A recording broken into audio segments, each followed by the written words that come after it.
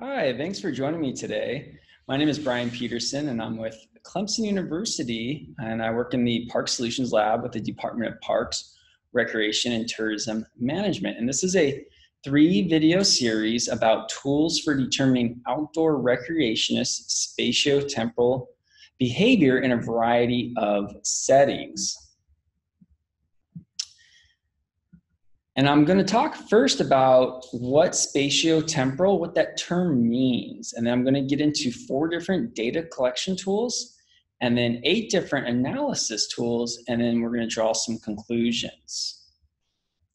So spatiotemporal behavior, what does that mean? That's a big word, spatiotemporal. And uh, it's composed of the spatial component and the temporal component. And a geographer out of Sweden named Hägerstrand uh, formulated what was called time geography, in which he elaborated on um, the fact that space is inherently linked to time and what this means socially for humans. And so, if you think about it, humans on Earth, no matter where we're at, we're occupying a space and time is clicking away. So, space and time are inherently linked.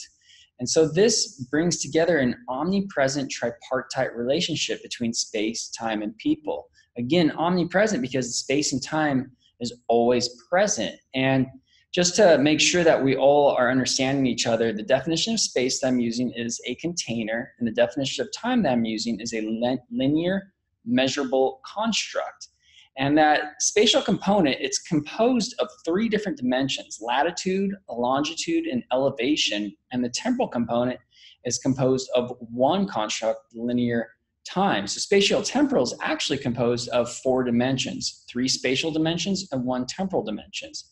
And so just as all human activities have a location and a timestamp, so does GPS data. And GPS data for location, that's typically a waypoint and an associated timestamp. So a latitude, a longitude, and at what time that point was recorded.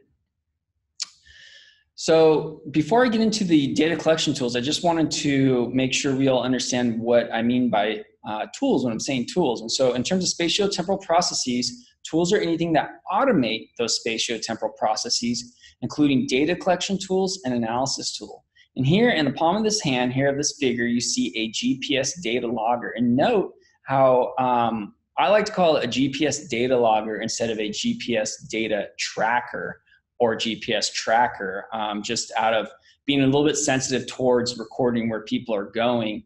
Uh, GPS data logger, from when I've passed them out to research participants, it goes over a little bit better by calling it, hey, do you want to carry a GPS data logger versus, hey, do you want to carry a GPS tracker? So see this GPS data logger in the figure, that is made by a company called Canmore, and the model is a GT740FL. And some of the uh, reasons that it's a good GPS data logger is that it's small, so research participants do not need to carry a big GPS data logger.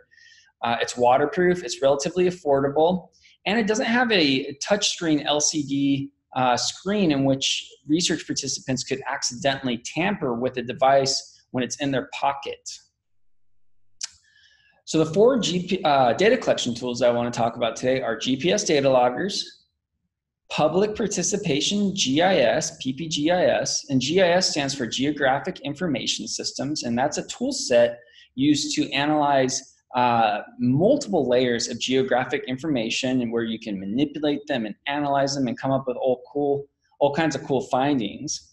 The next data collection tool is VGIS, which stands for Volunteer Geographic Information Systems. And then lastly, uh, mobile phone data.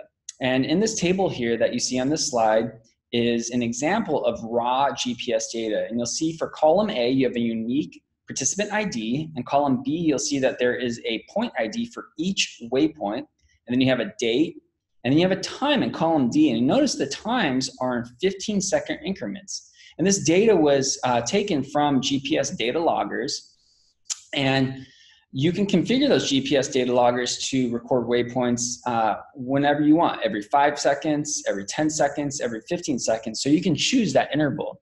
And a lot of the research shows that for tracking uh, recreationists while they're walking around a park or protected area, it's best to have it at 15 seconds. Now, if they're driving, going a little bit faster, you might want to use a 10 second interval or a five second interval.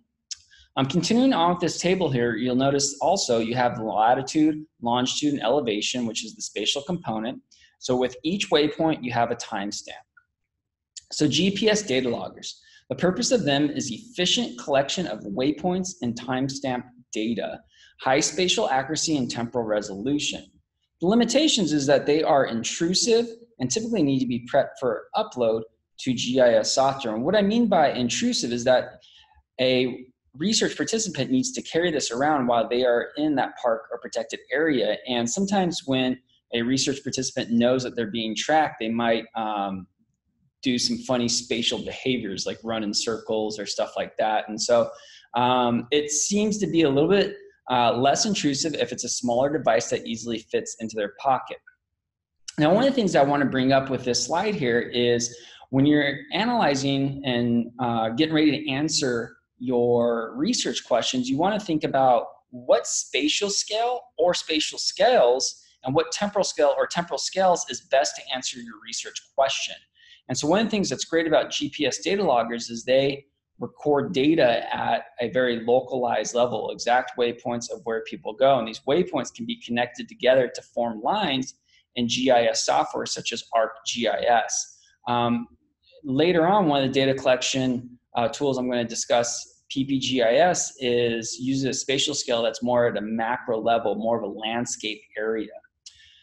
So this brings me to the conclusion of the first video of this three-set video, uh, three-series video titled Tools for Determining Outdoor Recreationist Spatio-Temporal Behavior in a Variety of Settings. And I hope that you have learned something thus far and that you will join me for video two. Thank you.